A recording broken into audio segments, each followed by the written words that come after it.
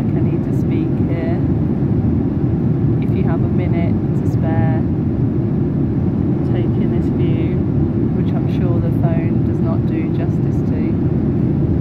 Just breathe and enjoy with me. I've been sitting here enjoying it for the last 10 or 15 minutes. It's just absolutely stunning.